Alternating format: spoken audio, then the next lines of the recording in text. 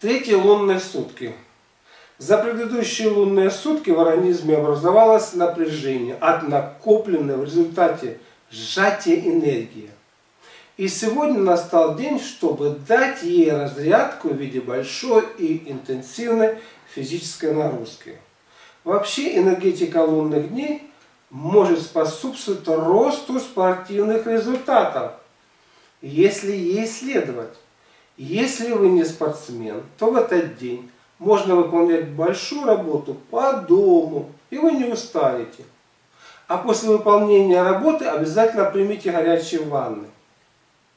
Важно расслабиться и полноценно отдохнуть. Сегодня не принимайте никаких серьезных решений. С горяча можно наломать дров. А вот поточить ножи сегодня очень даже хорошо.